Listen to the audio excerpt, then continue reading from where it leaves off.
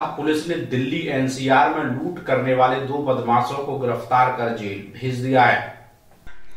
NCR क्षेत्र में लूट की घटना को अंजाम देने वाले दो अभियुक्तों को पुलिस ने धर दबोचा साहिबाबाद को पुलिस को सूचना दी गई, जिसके अनुसार ऑफ़िस से घर जाते हुए चार अज्ञात लोगों द्वारा वादी की गाड़ी रुकवाकर असला दिखाकर पाँच लाख रुपए की लूट की थी। इस घटना के बाद टीमों का गठन हुआ और संभावित स्थानों के सीसीटीवी फुटेज चेक किए।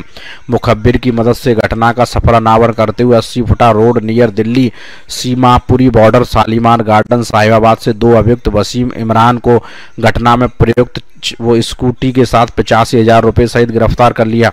पूछताछ करने पर अभियुक्त ने बताया, इन दोनों ने अपने साथी अशफाक के कहने पर एक अन्य फरार साथी के साथ मिलकर रात्रि में A block Shalimar Garden, Sahibabad नाले के पीछे वाली गली में तमंचा दिखाकर रुपयों से भरा बैग लूट लिया। बैग में कुल पाँच लाख रुपए मिले थे, जिसको पाँचों ने बांट लिया। घटना की पूरी योजना अशफाक की थी। बरामद स्कूटी से घटना में पहले दिन रेकी की गई। दोनों के हिस्से में अस्सी अस्सी हज़ार रुपये आए। बाकी पैसे साथी के पास हैं। जो दोनों के हिस्से में आए उनसे जो रुपए बरामद हुए, वह लूट के पैसे ही है तथा बाकी दोनों ने मौज मस्ती में खर्च कर दिए। सुधाकर सिंह, गाजियाबाद, समाचार 24 साहिबाबाद क्षेत्र में एक स्क्रैप व्यापारी के लूट की घटना हुई थी, जिसमें उनकी गाड़ी को रोककर चार लोगों ने उनके साथ तमंचा दिखा के लूट की थी और उनका पैसों से भरा बैग ले गए थे, जिसमें करीबन पाँच लाख रुपए थे।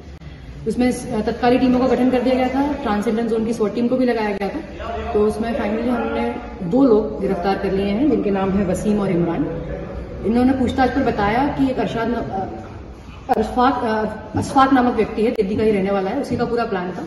इन लोगों ने दो दिन रेकी करी थी, ग्यारह तारीख की घटना है, ये नौ और दस तारीख को भी रेकी करने आए थे उस एरिया में, एक स्कूटी का इस्तेमाल किया था रेकी में, जो कि स्कूटी हमने अशफाक, वसीम से बरामद करी है। और तमंचा भी वसीम के साथ बरामद हुआ है। उन्होंने बताया कि इन पाँच लाख में से अस्सी अस्सी हज़ार रुपए इन दोनों के उसमें आए थे बंटवारे में। उनमें से पैंतालीस हज़ार रुपए एक से पैंतालीस हज़ार रुपए और एक से चालीस हज़ार रुपए की रिकवरी इन लोगों को कैसे पता था उनके पास इतना पैसा है? आ, ये लोग बगल के एरिया के रहने वाले हैं लोग दिल्ली के ही हैं। सीमापुरी बॉर्डर जो लगता है। और इनको पता था मतलब जानने वाले लोग थे इनके बीच में कि इनको पता था कि इनके पास बिज़नेस है ये मुजफ्फरनगर से या जहाँ से भी जब भी आते हैं तो पैसा लेकर आते हैं। मैम अशफाक का क्या प्रोफ़ाइल है? अशफाक के पास अभी तक जितनी जानकारी हुई है तीस से ऊपर मुकदमे रजिस्टर्ड हैं उसके ऊपर और वो वहाँ पर भी स्नैचिंग और इस तरीके की घटना दिल्ली वाले क्षेत्र में करता है।